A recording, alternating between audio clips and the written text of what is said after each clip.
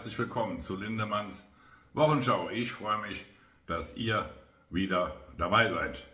Ja, liebe Freunde, das ist die Osterwoche. In Berlin im Abgeordnetenhaus sind Schulferien. Auch das Abgeordnetenhaus hat entsprechend Ferien. Ich war übers Wochenende bis Anfang der Woche für euch unterwegs gewesen in Bulgarien mit unseren bulgarischen Freunden und habe mich da einmal informiert über die EU-Außengrenze zwischen Bulgarien und der Türkei. Die EU-Außengrenze zwischen Bulgarien und der Türkei ist löchrig wie ein Schweizer Käse. Gewiefte Schleuser, geschulte Schleuser schaffen in weniger als fünf Minuten diesen Zaun aufzuschneiden und äh, dann innerhalb kürzester Zeit äh, 50, 100 Menschen durch dieses Loch durch nach Bulgarien zu schleusen. Das äh, Problem ist natürlich, dass äh, die Gegend, dieses Gelände der Grenze sehr unwegsam ist und auch sehr schwer mit PKWs befahrbar ist, lediglich mit Jeeps.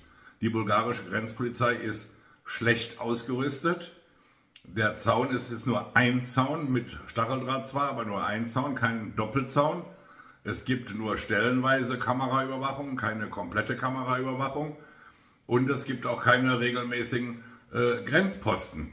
Ehemalige Grenzposten aus Zeiten des Kalten Krieges sind alle sämtliche verlassen und zum Teil sehr zerfallen. Denn wenn wir uns erinnern, bis 1990 war die Grenze zwischen Bulgarien und der Türkei die Grenze zwischen dem Warschauer Pakt und der NATO. Ja, also eine starre Grenze des Kalten Krieges. Und zu dieser Zeit konnte die Grenze so überwacht werden, dass niemand ungehindert illegal über die Grenze überqueren konnte. Jetzt kommen täglich Hunderte, Tausende, niemand weiß es genau, über diese Grenze nach Bulgarien. Und das Problem ist natürlich, dass die Menschen, die nach Bulgarien kommen, gar nicht in Bulgarien bleiben möchten. Denn die Menschen, die nach Bulgarien kommen, wollen weiterziehen zu uns nach Deutschland oder vielleicht nach Österreich, Frankreich, Holland oder Schweden.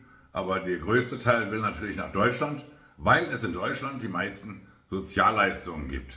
Darum täten wir gut daran, wenn wir dafür sorgen, auf europäischer Ebene, dass nicht die EU-Gelder beispielsweise 50 Milliarden für die Ukraine verschwendet werden, sondern dass EU-Gelder hier an dieser bulgarisch-türkischen Grenze investiert werden, dass ein zweiter Grenzzaun gebaut wird, dass die Grenzpolizei mit besseren Fahrzeugen und technischem Equipment ausgestattet wird, dass mehr Personal auch eingesetzt wird.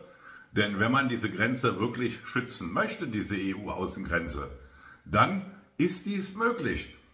Die Jahre vor 1990 haben es gezeigt, dass es möglich ist. Also wäre es auch jetzt möglich, aber offenbar will die EU diesen Grenzschutz nicht. Und Bulgarien ist alleine dazu nicht in der Lage. Wenn wir schon sagen, wir wollen europäisch zusammenarbeiten, wäre das eine sinnvolle Zusammenarbeit. Denn wenn wir ein bisschen EU-Geld in Bulgarien investieren, um diese Grenze undurchlässig zu machen, das gleiche auch noch an der türkisch-griechischen Grenze machen, diese Grenze genauso undurchlässig machen, sparen wir in Deutschland und auch in Berlin sehr viel Geld, was wir für die illegalen Migranten hier ausgeben. Erinnert euch, das Ankunftszentrum Tegel, 1,2 Millionen Euro pro Tag. Nur diese Unterkunft Tegel in Berlin. Das Geld könnten wir sparen, wenn wir gemeinsam mit den Bulgaren auf europäischer Ebene, natürlich nicht nur die Deutschen, sondern alle europäischen Länder, hier effektiven Grenzschutz betreiben würden. Ja, was ist sonst noch so passiert diese Woche? Ein Pfarrer, der als Parteiloser in Sachsen-Anhalt für die AfD kandidieren möchte, auf Kommunalebene für ein Stadtparlament, den hat die Kirche mal eben kaltgestellt. Denn die evangelische Kirche meint, äh, die AfD wäre keine Partei, wo ein Pfarrer kandidieren dürfte und wäre mit der Kirche nicht vereinbar. Naja, also das ist schon ein starkes Stück, was die Kirche sich hier leistet. Äh, ich kann jedem empfehlen, der noch Mitglied einer Kirche ist, ob er nicht vielleicht aus der Kirche austritt ob die Kirche nicht vielleicht äh, falsch ist, die Mitgliedschaft in der Kirche. Denn man kann ja auch ohne weiteres austreten. Ja, ansonsten die wichtigste Meldung ganz zum Schluss.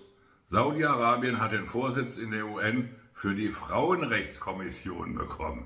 Ja, Sie hören richtig, Saudi-Arabien, das Land, das Vorreiter für Frauenrechte ist. Ironie off. Ja, ich habe mich da auch gewundert. Da weiß man wirklich nicht mehr, was man sagen soll. Ich weiß, was ich jetzt sagen soll. Ich wünsche Ihnen frohe Ostern. Genießen Sie das Osterwochenende und die Ostertage mit Ihren Liebsten. Feiern Sie frohe Ostern. Und am Montag gibt es natürlich auch am Ostermontag das Live-Event um 18 Uhr und nächsten Samstag wieder Lindermanns Wochenschau. Bis dahin viel Glück beim Eiersuchen.